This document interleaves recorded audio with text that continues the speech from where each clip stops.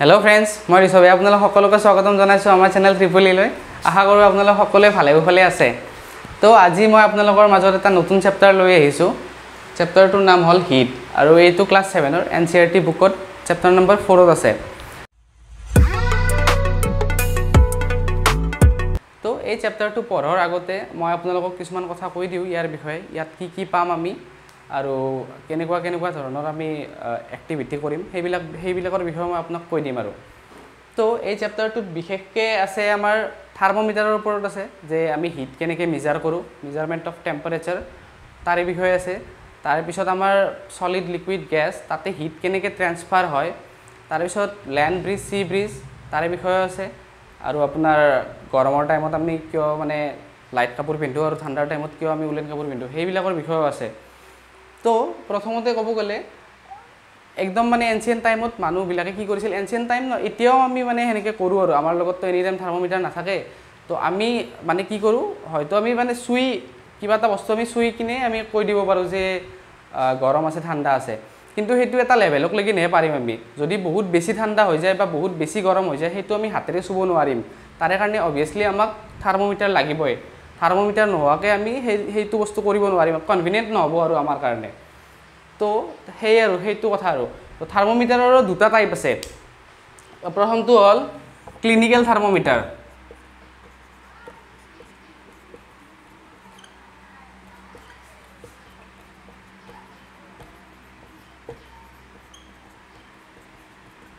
আৰু দ্বিতীয়টো হ'ল লেবৰেটৰী থাৰ্মোমিটাৰ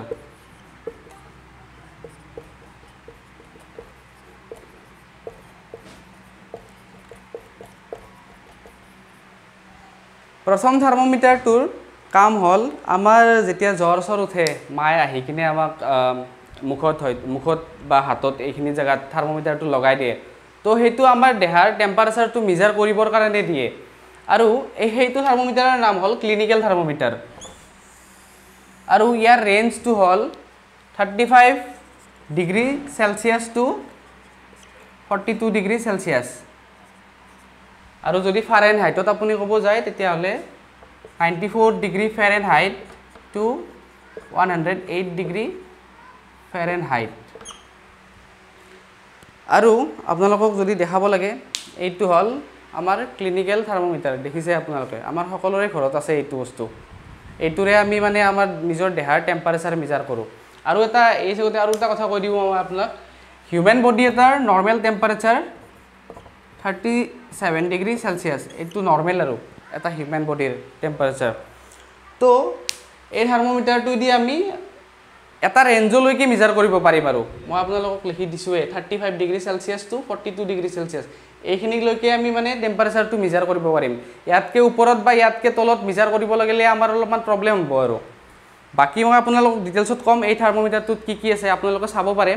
এই থাৰ্মোমিটাৰটোত চাব পাৰে ওচৰত লৈ আহিছোঁ মই। এই থাৰ্মোমিটাৰটো এটা লং ইউনিফৰ্ম নেৰ' টিউব আৰু। নেৰ' টিউবৰে নেৰ' গ্লাছ টিউবেৰে বনাইছে। আৰু ইয়াৰ এটা এণ্ডত আপুনি চাব পাৰে এটা বাল্ব আছে য'ত মানে মাৰ্কুৰী ফিল হৈ আছে।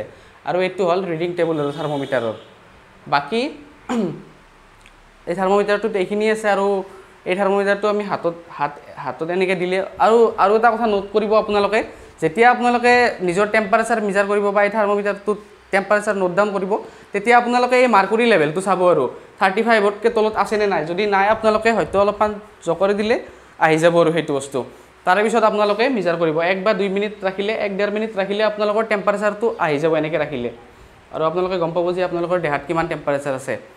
তো নেক্সট কথা আহিল লেবৰেটৰী থাৰ্মোমিটাৰ এই ক্লিনিকেল থাৰ্মোমিটাৰটোত এটা ডিছএডভান্টেজ আছে যে ইয়াৰ ৰেঞ্জটো বহুত কম আৰু। Thirty five degree Celsius to forty two degree Celsius এইখিনিৰ ভিতৰতহে ই টেম্পাৰেচাৰটো মেজাৰ কৰিব পাৰে। তাতকৈ মানে যদি বেছি হয় বা কম হয় সি কৰিব নোৱাৰে আৰু। তো সেই ডিছএডভান্টেজটো পূৰণ কৰিছিল আমাৰ লেবৰেটৰী থাৰ্মোমিটাৰে ইয়াৰ ৰেঞ্জটো আপোনাৰ minus ten degree Celsius to hundred something hundred eight degree Celsius something ইমানমান হ'ব আৰু। Minus ten degree Celsius to hundred eight degree Celsius year range. মানে এইখিনিৰ ভিতৰত আপোনাৰ যিমান টেম্পাৰেচাৰ আহে চব লেবৰেটৰী থাৰ্মোমিটাৰেদি আমি মেজাৰ কৰিব পাৰোঁ। মানে এনেকুৱা বহুত বস্তু আছে যাৰ মানে টেম্পাৰেচাৰটো বহুত বেছি। তাত তাত আমি লেবৰেটৰী থাৰ্মোমিটাৰটো ইউজ কৰোঁ। বা য'ত বহুত টেম্পাৰেচাৰটো য'ত বহুত কম আৰু তাত আমি এই লেবৰেটৰী থাৰ্মোমিটাৰটো ইউজ কৰোঁ। তো ফ্ৰেণ্ডছ আমি দেখিলোৱে যে টেম্পাৰেচাৰ কেনেকৈ মিজাৰ কৰোঁ বা টেম্পাৰেচাৰ মিজাৰ কৰা ডিভাইচ কি কি আছে। আমি পালোঁ ক্লিনিকেল থাৰ্মোমিটাৰ লেবৰেটৰী থাৰ্মোমিটাৰ এই দুটা থাৰ্মোমিটাৰ দি আমি হিটটো মানে মিজাৰ কৰোঁ আৰু। তো ফ্ৰেণ্ডছ ইয়াৰ পিছত আৰু এটা কথা আহি পৰে যে হিটটো ট্ৰেন্সফাৰ হ'বলৈ। মানে ছাপ'জ ইয়াৰ পৰা মই তাকলৈকে যাবলৈ মানে কি কেনেকুৱা প্ৰচেছ আছে বা চলিড লিকুইড গেছত মানে হিটটো কেনেকৈ ট্ৰেন্সফাৰ হয় বা সেই প্ৰচেছটো কি বুলি কওঁ আমি। তো আহক আমি ডিটেইলত অলপমান কথাখিনি পাতোঁ।